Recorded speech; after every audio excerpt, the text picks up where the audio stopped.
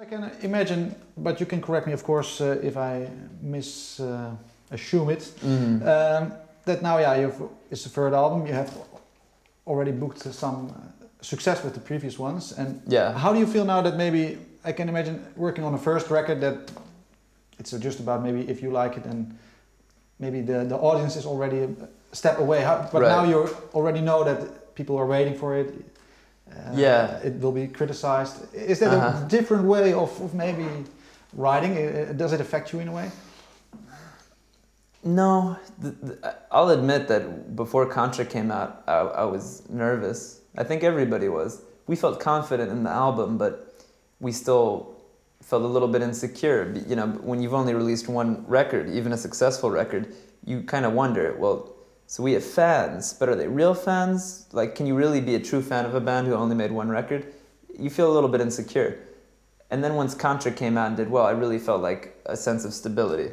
Mm. That doesn't mean that this album was simple to make, uh, but it, it really, but it really allowed us to mostly just focus on the creative challenge of pleasing ourselves. Mhm. And I'm just, I, I'm just not that worried. Um, I feel, uh, I feel happy with what we came up with. So you know, But do you feel that you are, are changed? Because I can imagine maybe touring a successful album that you sort of get fed up maybe in the, with your own material and that you maybe want to take a big step away from it and approach things from a whole new perspective.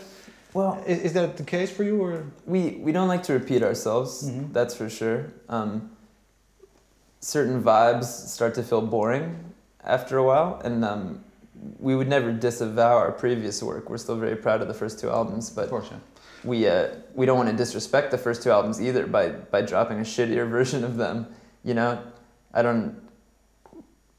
That just seems like such a, a bad idea. Mhm. So there's not really, we just try to, to focus on what feels fresh to us. And, you know, three years later, new things feel fresh to us. Um, and that's, it's pretty easy guideline to follow. Is that in short, is there a certain ambition you had, maybe a dream before actually starting on the record or some idea that how, how you would like it to be in a way? A vision? Well, I think everybody had different visions.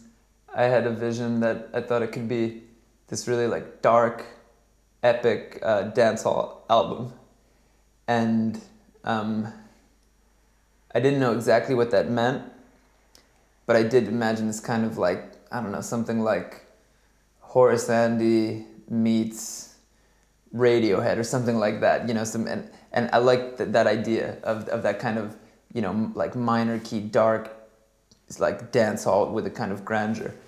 I don't think this album ended up being that at all, but having ideas like that can sometimes just it's it's an it's an important part of the process. Where did the darkness get lost a little bit? There's still some darkness, um, which in some ways is the most exciting part because uh, this album has a lot of new uh, emotional territory or just some new moods that maybe people would not have guessed we were capable of. Maybe we would not have thought we were capable of on the first record. But it's nice to explore some new territory and still feel like, yeah, but it still sounds like Vampire Weekend. What moods would, would that be? Well, like the song Hudson, a lot of people hear that and think it's it sounds a little spooky or something. And you know, when people talked about us when we first came out, you know, it's words like springtime, summer, fun. And I think we're still fun. And and I think we still like we still have a sense of playfulness in our music, but uh, it's nice to realize that, you know, we can move into some other feelings too and, and still feel like ourselves. And that's the Mhm. most important thing.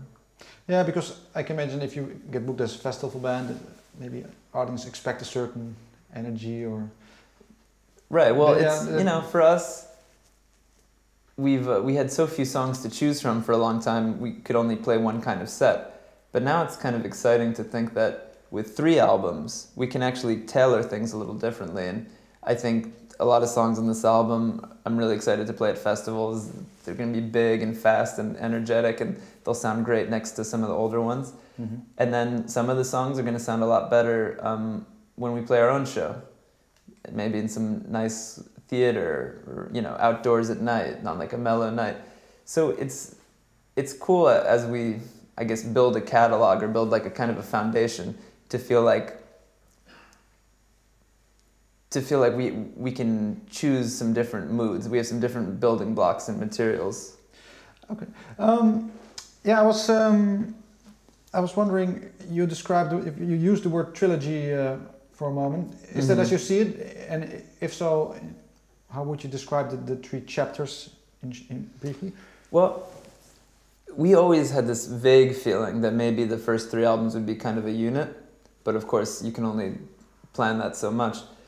And now that we finished it, and I look backwards, I really feel like they are. And you know, we we made sure of it in some ways that you know, if you when you get all three CDs and you line them up together and you look at the side and you look at the top, it really looks like a, a unit, like they're meant to go together. Um, and then also just musically, naturally, uh, each chapter is a little different. But then there's certain things I can, I you know, I can list a million connections between the first and the second album, second and third, third and first. You know, it's fun to go through it in that way.